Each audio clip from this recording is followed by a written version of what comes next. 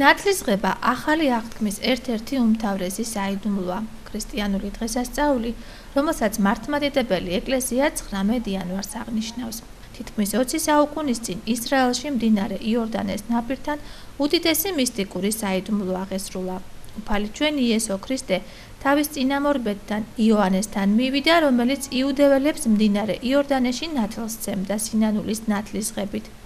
უცოდველი იესო ჭეშმარიტი ღმერთი ხორცში მოსული თავისი ქცევით გვეუბნება რომ აუცილებელია ყველა მოკდავმა გაიაროს ეს გზა და ნათელიღოს და კიდევ იესო ქრისტე მდინარე იორდანეში შესვლით აკურთხა წყლის სტიქია.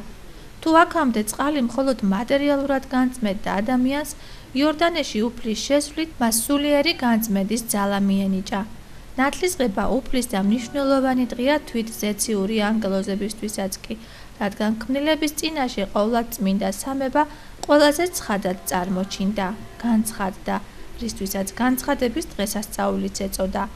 ამ დღეს წყლიდან ამოსულ ნათელღებულ მაცხოვარს სული წმინდა მტრედის სახით დაადგა მხარზე, ხოლო ზეციდან მამაღმერთის ხმა მოისმა.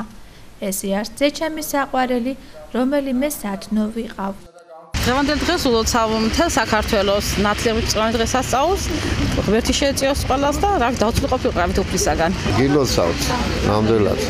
დღევანდელ საგრესიანო დიდებულ დღესასწაულს და ეს არის მრავალ სრულიად მთელი საქართველოს მოსახლეობა. ღმერთმა დაგლოცოთ და ღმერთმა გაგახაროთ და გაგამრავოთ გილოცავთ მრავალს და ეს არის ყველას ულოს სამყიბულელებს და მთელ საქართველოს. ყველას გიოცად ათლისღებას არის ძალიან დიდი დღესასწაული. უსურვებ ყველას უფალი ფარადეს და რავი უფლის მადლი არ მოკლევოდეთ. დღეს არის წმინდა დღესასწაული, ნათლისღება, უფლის მადლი და წყალობა არ მოკლევოდეთ ყველას და რავი შეგეწიოთ უფალი დღევანდელი დღესასწაულის მადლით. ნათლისღების დღესასწაულის მწუხრზე და ეკლესიამ დიდი აიაზმის წესით წყლის კურთხევა დააწესა. ამ წესადმი ქრისტიანებს განსაკუთრებული სასუება აქვთ.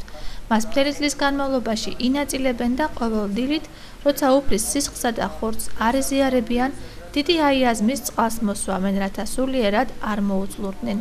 ძველი ქართველები ამბობდნენ, ნათლისღებას აღებული უბრალო წყალიც არ იხრცნებაო.